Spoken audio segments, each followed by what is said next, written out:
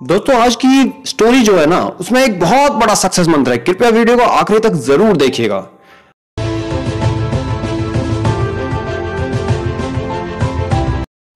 दोस्तों, एक railway station पर एक गाड़ी आकर रुकती है और पास ही एक लड़का पानी बेचते हुए वहाँ से निकला।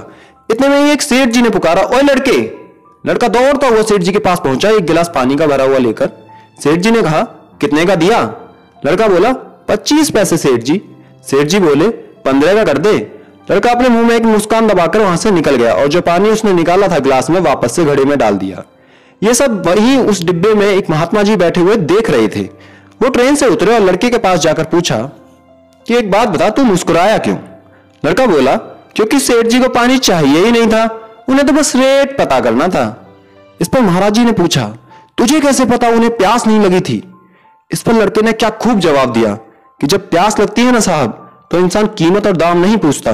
वो पानी पी जाता है और फिर कहता है, बताओ कितना देना बनता है? ये छोटी सी स्टोरी हमें बताती है कि जिन्हें सच में कुछ पाना होता है, वो वाद विवाद आर्गुमेंट्स में ना उलझकर अपने काम में लगे रहते हैं, अपने आप को बिज़ी रखते हैं। जो अपने पास संसाधन है, उनका बेस्ट उपयोग कैसे कर सके, इस पर ध्यान देते हैं। लोगों द्वारा मज़ाक बनाने पर, उनके द्वारा भला बुरा कहने पर भी वो रुकते नहीं है, बल्कि उसका मोटिवेशन बना लेते हैं। और कभी भी अपनी कमियों को नहीं, बल्कि अपनी स्ट्रेंथ्स को बेहतर से बेहतरीन कैसे बना सके, इस पर काम करते हैं।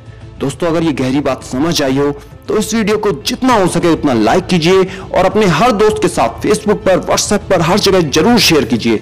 और हाँ चैनल पर नए आए हैं तो चैनल को सब्सक्राइब कर लीजिए, लाल रंग के सब्सक्राइब बटन को दबाकर और बेल आइकन को ज़रूर दबा देना, ताकि मोटिवेशन की नोटिफिकेशन आपको समय से मिलते रहे।